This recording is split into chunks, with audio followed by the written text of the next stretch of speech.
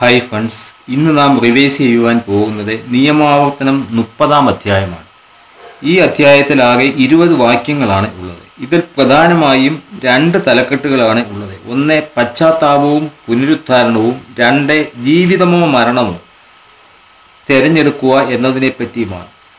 അവസാനമായി ഇങ്ങനെ പറയുന്നു അവിടുത്തെ വാക്ക് കേട്ട് അവിടുത്തോട് ചേർന്ന് നിന്നാൽ നിനക്ക് ജീവനും ദീർഘായുസും ലഭിക്കുമെന്നും നിന്റെ പിതാവായ പിതാക്കന്മാരായ അബ്രഹാമിനും ഇസ്ഹാക്കിനും യാക്കോബിനും നൽകുമെന്ന് കർത്താവ് ശപഥം ചെയ്ത ദേശത്തെ നീ വസിക്കുകയും ചെയ്യുമെന്ന് പറയുന്നു.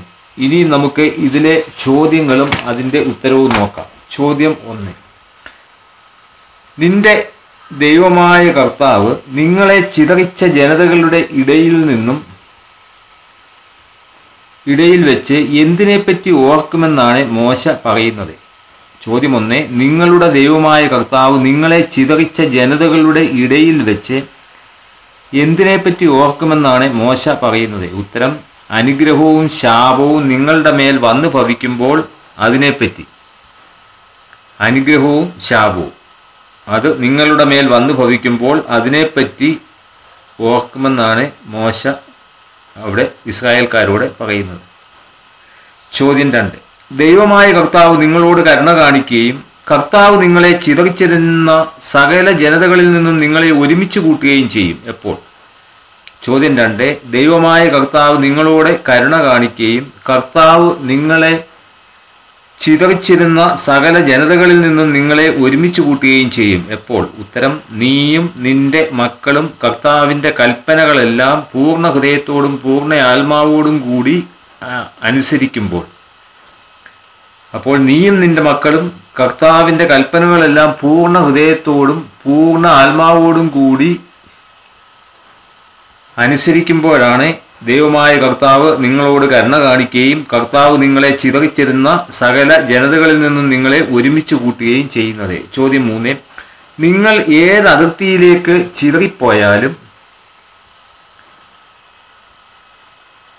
അവിടെ നിന്നും കർത്താവ് നിങ്ങളെ ഒരുമിച്ച് കൂട്ടുകയും തിരികെ കൊണ്ടുവരികയും ചെയ്യും. നിയമാവർത്തനം മുപ്പത് നാല്.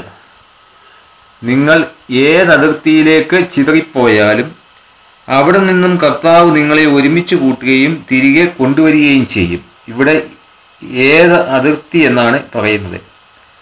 ഉത്തരം ആകാശത്തിന്റെ അതിർത്തിയിലേക്ക്. ആകാശത്തിന്റെ നിങ്ങൾ ആകാശത്തിന്റെ അതിർത്തിയിലേക്ക് ചിതറിപ്പോയാലും ദൈവമായ കർത്താവ് നിങ്ങളെ ഒരുമിച്ച് കൂട്ടുകയും തിരികെ കൊണ്ടുവരികയും ചെയ്യും. ചോദ്യം നാല്. ആര് സ്വന്തമാക്കിയിരുന്ന ദേശത്തേക്ക് നിങ്ങളുടെ ദൈവമായ കർത്താവ് നിങ്ങളെ കൂട്ടിക്കൊണ്ടുവരികയും നിങ്ങൾ അത് കൈവശമാക്കുകയും ചെയ്യും. നിയമാവർത്തനം മുപ്പത് അഞ്ച്. ചോദ്യം ഇതാണ്. ആര് സ്വന്തമാക്കിയിരുന്ന ദേശത്തേക്ക് നിങ്ങളുടെ ദൈവമായ കർത്താവ് നിങ്ങളെ കൂട്ടിക്കൊണ്ടുവരികയും നിങ്ങൾ അത് കൈവശമാക്കുകയും ചെയ്യും? ഉത്തരം നിങ്ങളുടെ പിതാക്കന്മാർ. നിങ്ങളുടെ പിതാക്കന്മാർ സ്വന്തമാക്കിയിരുന്ന ദേശത്തേക്ക് നിങ്ങളുടെ ദൈവമായ കർത്താവ് നിങ്ങളെ കൂട്ടിക്കൊണ്ടുവരികയും നിങ്ങൾ അത് കൈവശമാക്കുകയും ചെയ്യും. ചോദ്യം അഞ്ച്. നിന്റെ ദൈവമായ കർത്താവിനെ പൂർണ ഹൃദയത്തോടും പൂർണ ആത്മാവോടും കൂടി സ്നേഹിക്കുന്നതിനും അങ്ങനെ നീ ജീവിച്ചിരിക്കുന്നതിനും വേണ്ടി ദൈവം എന്തു ചെയ്യുമെന്നാണ് പറയുന്നത്. ചോദ്യം അഞ്ച്. നിന്റെ ദൈവമായ കർത്താവിനെ പൂർണ ഹൃദയത്തോടും പൂർണ ആത്മാവോടും കൂടി സ്നേഹിക്കുന്നതിനും അങ്ങനെ നീ ജീവിച്ചിരിക്കുന്നതിനും വേണ്ടി ദൈവം എന്തു ചെയ്യുമെന്നാണ് പറയുന്നത്. ഉത്തരം നിന്റെയും നിന്റെ മക്കളുടെയും ഹൃദയ കവാടം തുറക്കും. നിന്റെയും നിന്റെ മക്കളുടെയും ഹൃദയ കവാടം തുറക്കും. ചോദ്യം ആറ് നിങ്ങൾ മനസ്സ് തിരിഞ്ഞ് കർത്താവിന്റെ വാക്കു കേൾക്കുകയും ഇന്ന് ഞാൻ നൽകുന്ന കൽപ്പനകളെല്ലാം പാലിക്കുകയും ചെയ്താൽ എന്ത് പ്രദാനം ചെയ്യുമെന്നാണ് പറയുന്നത്? ചോദ്യമാകെ നിങ്ങൾ മനസ്സ് തിരിഞ്ഞ് കർത്താവിന്റെ വാക്കു കേൾക്കുകയും ഇന്ന് ഞാൻ നിങ്ങൾക്ക് നൽകുന്ന കൽപ്പനകളെല്ലാം പാലിക്കുകയും ചെയ്താൽ എന്ത് പ്രദാനം ചെയ്യുമെന്നാണ് പറയുന്നത്? ഉത്തരം ധാരാളം മക്കളും കന്നുകാലികളും സമൃദ്ധിയായ വിളവും.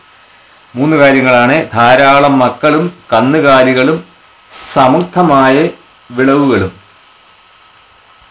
നിങ്ങൾക്ക് പ്രദാനം ചെയ്യും.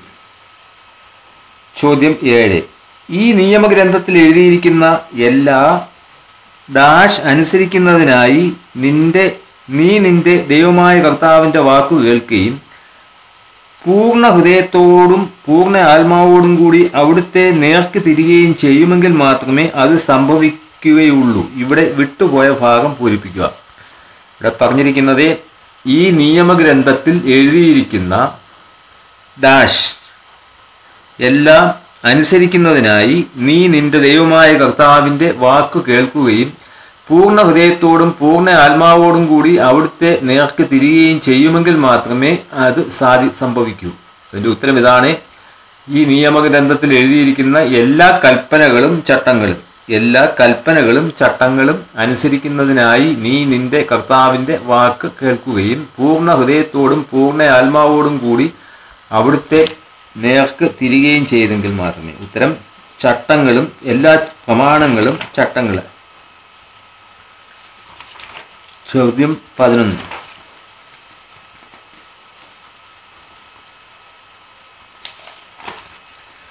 ചോദ്യം എട്ട്. ഇന്ന് ഞാൻ നിനക്ക് നൽകുന്ന ഈ കൽപ്പന നിന്റെ ഡാഷ് അപ്രാപ്യമാം വിധം ഡാഷ് അല്ല പൂരിപ്പിക്കുക. നിയമാവർത്തനം മുപ്പതാം അധ്യായം പതിനൊന്നാം വാക്യം. ഇന്ന് ഞാൻ നിനക്ക് നൽകുന്ന ഈ കൽപ്പന നിന്റെ ഡാഷ് അപ്രാപ്യമാം വിധം ഡാഷ് അല്ല. ഇതിന്റെ ഉത്തരം. ഞാൻ നിനക്ക് നൽകുന്ന ഈ കൽപ്പന നിന്റെ ശക്തിക്കതീതമോ അപ്രാപ്യമാം വിധം വിദൂരസ്ഥമോ അല്ല. ശക്തിക്കതീതമോ അപ്രാപ്യമാം വിധം വിദൂരസ്ഥമോ അല്ല. ചോദ്യം ഒമ്പത്. ദൈവം നമുക്ക് നൽകുന്ന കൽപ്പന കേൾക്കാനും അതനുസരിച്ച് പ്രവർത്തിക്കാനും നമുക്ക് വേണ്ടി എവിടേക്ക് കയറിച്ചെന്ന് അത് കൊണ്ടുതരുമെന്ന് പറയുവാൻ അത് എവിടെയല്ല എന്നാണ് പറയുന്നത്. ചോദ്യം ഒമ്പത്.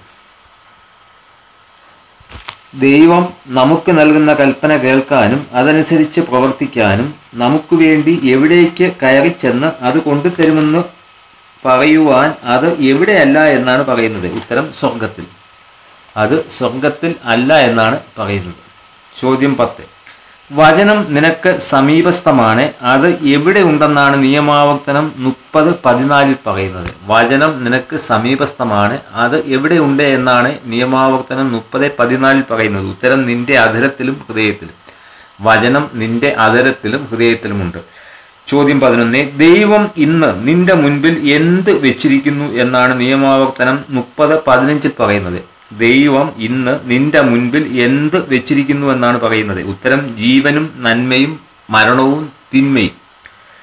ജീവനും നന്മയും മരണവും തിന്മയും ദൈവം നിന്റെ മുൻപിൽ വെച്ചിരിക്കുന്നു. ചോദ്യം പന്ത്രണ്ട്. ഇന്ന് ഞാൻ നിന്നോട് ആജ്ഞാപിക്കുന്നതനുസരിച്ച് നിന്റെ ദൈവമായ കർത്താവിനെ സ്നേഹിക്കുകയും അവിടുത്തെ മാർഗത്തിൽ ചരിക്കുകയും അവിടുത്തെ കൽപ്പനകളും ചട്ടങ്ങളും പാലിക്കുകയും ചെയ്താൽ എന്താണ് സംഭവിക്കുന്നത്? നിയമാവർത്തനം മുപ്പത് പതിനാറ്. ഇന്ന് ഞാൻ നിന്നോട് ആജ്ഞാപിക്കുന്നതനുസരിച്ച് നിന്റെ ദൈവമായ കർത്താവിനെ സ്നേഹിക്കുകയും അവിടുത്തെ മാർഗത്തിൽ ചരിക്കുകയും അവിടുത്തെ കൽപ്പനകളും ചട്ടങ്ങളും പാലിക്കുകയും ചെയ്താൽ എന്താണ് സംഭവിക്കുന്നത്? ഉത്തരം നീ ജീവിക്കും. നീ ജീവിക്കുമെന്നാണ് അതിന്റെ ഉത്തരം. ചോദ്യം പതിമൂന്ന്. എന്നാൽ ഈ കൽപ്പന കേൾക്കാതെ നിന്റെ ഹൃദയം വ്യതിചലിക്കുകയും അന്യദേവന്മാരെ ആരാധിക്കുന്നതിന് അവരെ ആരാധിക്കുന്നതിനും അവരെ സേവിക്കുന്നതിനുമായി വശീകരിക്കപ്പെടുകയും ചെയ്താൽ എന്ത് സംഭവിക്കും? ഈ കൽപ്പന കേൾക്കാതെ നിന്റെ ഹൃദയം വ്യതിചലിക്കുകയും അന്യദേവന്മാരെ ആരാധിക്കുന്നതിൽ നിന്നും അവരെ സേവിക്കുന്നതിനുമായി വശീകരിക്കപ്പെടുകയും ചെയ്താൽ എന്ത് സംഭവിക്കും? ഉത്തരം നീ നശിക്കും. അപ്പോൾ നിന്നോട് ആജ്ഞാപിക്കുന്ന കൽപ്പ ആജ്ഞാപിക്കുന്നതനുസരിച്ച് ദൈവമായ കർത്താവിനെ സ്നേഹിക്കുകയും അവിടുത്തെ മാർഗത്തിൽ ചരിക്കുകയും അവിടുത്തെ കൽപ്പനകളും ചട്ടങ്ങളും പാലിക്കുകയും ചെയ്താൽ നീ ജീവിക്കുമെന്നും അതല്ല കൽപ്പന കേൾക്കാതെ നിന്റെ ഹൃദയം വ്യതിചലിക്കുകയും അന്യദേവന്മാരെ ആരാധിക്കുകയും സേവിക്കുകയും ചെയ്യാ ചെയ്താൽ നീ നശിക്കും എന്നും പറയുന്നു. ചോദ്യം പതിനാല്. ജീവനും മരണവും അനുഗ്രഹവും ശാപവും ഞാൻ നിന്റെ മുൻപിൽ വെച്ചിരിക്കുന്നു. എന്നതിന് എന്തിനെയാണ് നിനക്കെതിരെ സാക്ഷിയാക്കുന്നത്? ജീവനും മരണവും അനുഗ്രഹവും ശാപവും ഞാൻ നിന്റെ മുൻപിൽ വെച്ചിരിക്കുന്നു എന്നതിന് എന്തിനെയാണ് സാക്ഷിയായി പറഞ്ഞിട്ടുള്ളത്? ഉത്തരം ആകാശത്തെയും ഭൂമിയെയും. ആകാശത്തെയും ഭൂമിയെയുമാണ് ഇതിന് സാക്ഷിയായി പറഞ്ഞിരിക്കുന്നത്. ചോദ്യം പതിനഞ്ച്. നിനക്ക് ജീവനും ദീർഘായുസും ലഭിക്കുവാൻ എന്ത് ചെയ്യാനാണ് മോശ ഇസ്രായേൽക്കാരോട് പറയുന്നത്? നിയമാവർത്തനം മുപ്പത് ഇരുപത്.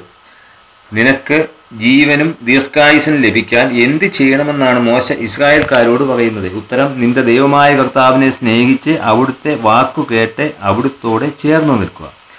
നിന്റെ ദൈവമായ കർത്താവിനെ സ്നേഹിച്ച് അവിടുത്തെ വാക്കു കേട്ട് അവിടുത്തോടെ ചേർന്ന് നിൽക്കുക. ഇതിന്റെ തുടർച്ചയായുള്ള വീഡിയോകൾ ഇനിയും ലഭിക്കുവാൻ ഇതുവരെയും ഈ ചാനൽ സബ്സ്ക്രൈബ് ചെയ്യാത്തവർ ദയവായി ഈ ചാനൽ സബ്സ്ക്രൈബ് ചെയ്യുക. താങ്ക്സ്.